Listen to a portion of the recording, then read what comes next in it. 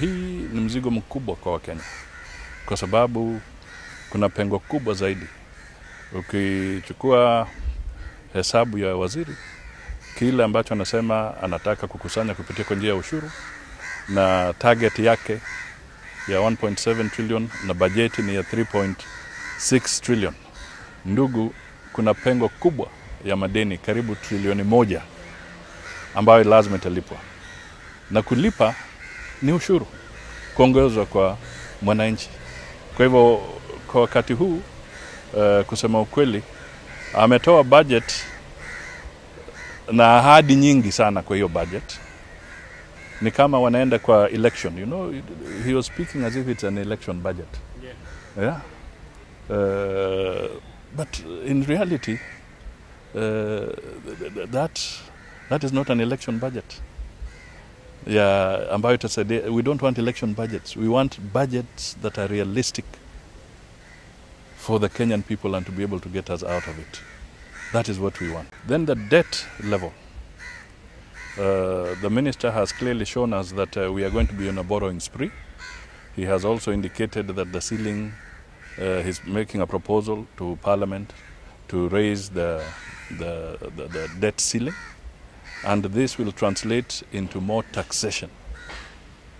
So we, the message we are sending out as ANC is that the government cannot get out of this quagmire through taxation they need to be more innovative. We need to fight corruption, prevent pilferage. We need to scale down some of the programs we have because we are more into consumption and very little is going back towards supporting production. Our exports have flattened out. Agriculture is not doing the way as well as it should be. So clearly, there are some issues, and we'll talk more to this uh, in due course. But our message is that the government uh, cannot get us out of this quagmire through taxation. Jingine, hii budget kama wapwani tulikuwa tunatarajia kuwa itakuwa ni bajeti ya mwananchi, lakini kwa bahati mbaya hayo matarajio yetu yamepita bila ya kuwafikiwa kwa sababu badili ya kuwa bajeti ya mwananchi, inaona hii ni bajeti ambayo inazidi kumwathiri mwananchi.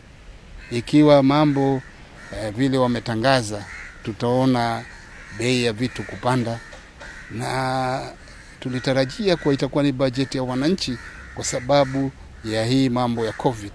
Tayari watu wana matatizo, na tulitarajia kuwa hii budget itawapatia watu afueni badili ya kuongezwa ushuru.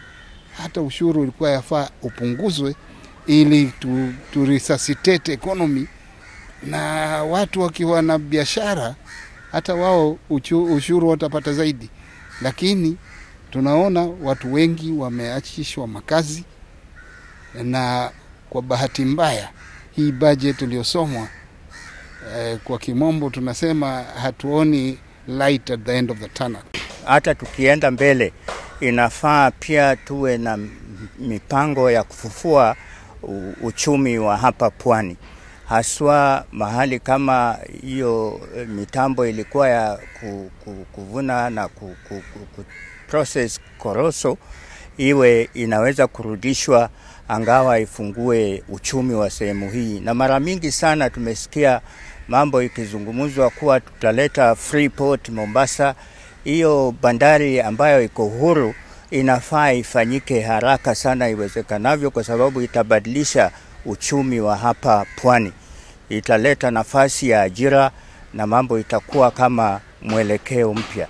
Na sasa tuna matumaini kwa sababu tukienda mbele, tunaona uongozi ukija kama chini ya Mheshimiwa Musalia Mudavadi tutaweza kupanua mafikirio, kwa sababu kwa saa hii inaonekana badala ya kupanua tunapu, tunapunguza, ni kama tunafunga.